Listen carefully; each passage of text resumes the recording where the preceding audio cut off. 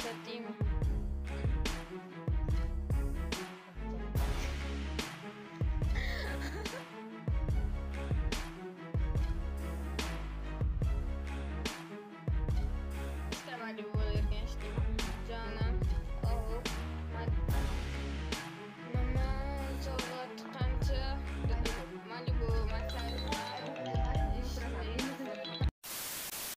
assalomu alaykum aziz vatandoshlar. Assalomu alaykum euro tv kuzatuvchilari aziz vatandoshlar internetni larzaga keltirgan internetda shov shuvli bo'lgan tema o'sha video. Hozir sizning huzuringizda bo'ladi. Pauza qiling. Assalomu alaykum assalomu alaykum aziz vatandoshlar. Assalomu alaykum euro tv kuzatuvchilari aziz vatandoshlar internetni larzaga keltirgan shov shuvga chiqqan o'sha tema o'sha videorolik hozir ko'rishingiz mumkin. Aziz vatandoshlar videorolikni qo'ymasdan oldin albatta.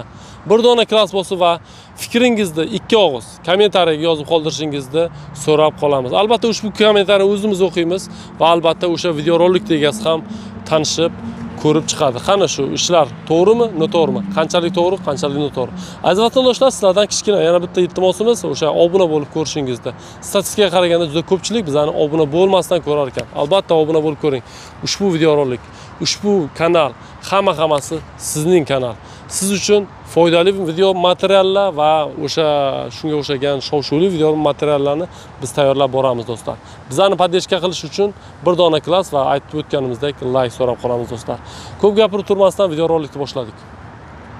Assalomu alaykum aziz vatandoshlar. Assalomu alaykum qadrli obunachilar. Do'stlar videorolikka befarq bo'lmasligingizni qo'sh tirnoq ichida iltimos qilib qolaman va videorolikka reaksiyangiz ya'ni bir dona layk bosib videorolik oxirida ochiqlikda kommentariyangizni yozib qoldiring. Chunki bu kommentariya siz uchun biz uchun videorolik egasi uchun muhim. Zeroki sizning bir dona bosgan laykingiz o'sha tarqaladi va tegishli joylarga borishi mumkin.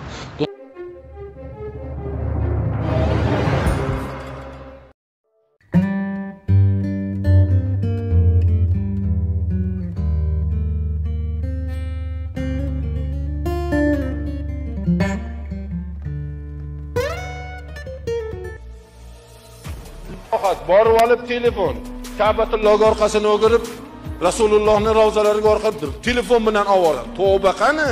ertagi ibodat qani? Boshqa yer yuzini masjidlarida o'qilingan 100 ming rakatdan savobi ulug' deb turibdi. Nega ibodat qilmayapsiz borib turib? Borib kelayotganlardan so'rayapman.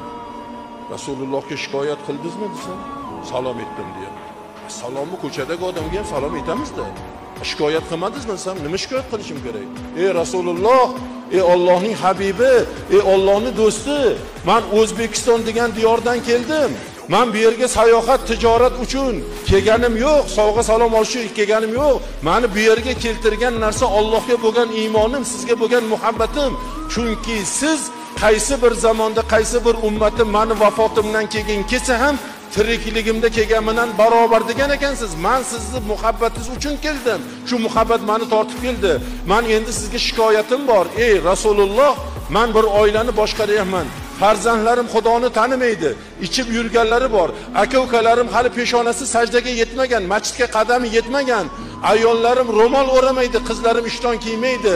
Qancha qancha yurtdoshlarim harom bo'lgan narsalarni ichib chekib yuribdi. Shular ham musulmon. Er ollohning rasuli man sizga shulardan shikoyat qilib keldim. Shularga xudo hidoyat bersin deb demadingmi desam? Manga o'rgatmadingizku bular ketishdan oldin deydi san keldingmi mani oldimga? Hajga ketyapman nima qilay dedingmi? Rasulullohni tug'ilgan mahallalariga bordingmi desam yo'q deydi hadicha onamni qabrlariga bordingmi desam yo'q deydi Xiro g'origa chiqib savrga chiqdingmi desam e bir soatlik yo'l ekan deydi.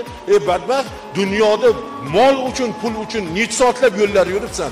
Shu bir soatlik masofani san ayadingmi nimangni joningni ayadingmi shu yerga rasulullohni qadamlari tekkan deb borib duo qilmaysanmi o'sha joylarda ikki rakat namoz o'qimaysanmi? Xalq haqiga yurt haqiga yurtboshi haqiga duo qilmaysanmi o'sha muqaddas joylarda? Sani shuning uchun yuboryaptiku shuning uchun imkoniyat berdiku senga.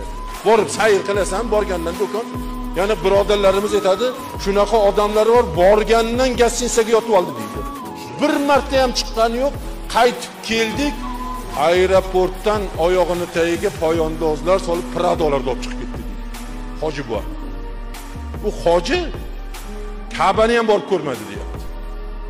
Mana g'aflat. Qani xudodan qo'rqish? Qani xudo?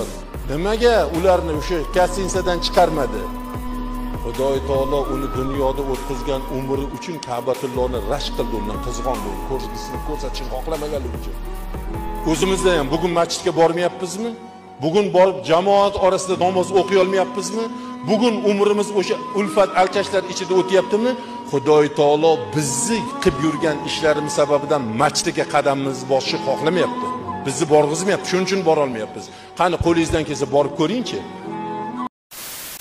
Yurtda sizlarga o'sha katta xushxabarim bor. Kimda kim Zapri deb tekshirmoqchi bo'lsa, tekshirib beramiz va amitsiya e'lon qilingan juda ko'pchilikda Zapri deporti yechilyapti do'stlar. Shoshilinglar, agar kimda kim Rossiyaga kirmoqchi bo'lsa va o'sha Zapri deportim bor deb o'ylanib turgan bo'lsa, bizda ofitsialni Zapri deporti tekshirish xizmati mavjud. Buning uchun 7911 987 21 21 WhatsApp nomerlarimizga murojaat qilasizlar. Kichkina bir sutka davomida sizlarni o'sha zapretinglar bormi yo'qmi? Bo'lsa qaysi statiya bo'yicha qachongacha zaprit bo'lgansiz hammasini batafsil chiqarib va uni fayl qilib sizni telegram yoki whatsappingizga tashlab beramiz.